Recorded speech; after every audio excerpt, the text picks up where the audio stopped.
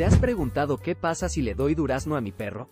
No te preocupes. En este video de Mundo Peludo, descubrirás los beneficios de esta fruta para tu mascota y cómo puedes incluirla en su dieta de forma segura. Comencemos. La respuesta es sí, el durazno es una fruta segura y nutritiva para tu peludo. La pulpa del melocotón es rica en nutrientes y no contiene compuestos tóxicos para los perros. Sin embargo, hay que tener precaución. Los tallos, hojas y hueso del durazno contienen cianuro, lo cual resulta tóxico para el organismo de los perros. Por eso, siempre asegúrate de quitarles las partes peligrosas antes de darles esta deliciosa fruta. Con precaución, el durazno puede ser un sabroso y saludable bocadillo para tu peludo. Más allá de ser una delicia para nuestro paladar, los duraznos ofrecen una gama sorprendente de beneficios para la salud de nuestros perros. Estudios revelan que los duraznos son una potente fuente de fitonutrientes, flavonoides y antioxidantes.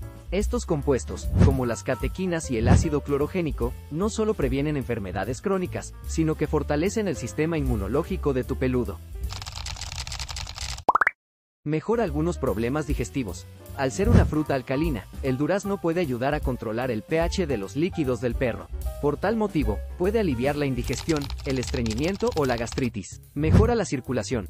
Los perros que consumen durazno tienen menor riesgo de tener grasa en sus arterias o de padecer un infarto en el miocardio. Favorece la pérdida de peso. En 100 gramos de durazno hay 57 calorías, por lo que es la fruta ideal para perros que sufren de sobrepeso. Los antioxidantes presentes en los duraznos, como la vitamina E y los carotenoides, pueden proteger la piel y el pelaje de los perros de los daños oxidativos. Estos nutrientes contribuyen a un pelaje más brillante y una piel más saludable, reduciendo la inflamación y mejorando la capacidad de recuperación frente a irritaciones cutáneas. Primero, selecciona un durazno maduro y fresco. Pela la fruta y corta la pulpa en pequeños daditos de aproximadamente de un centímetro. Recuerda, nunca le ofrezcas la pieza completa a tu perro. Es importante retirar todas las partes tóxicas, como las hojas, tallos y huesos, antes de ofrecérselo a tu peludo.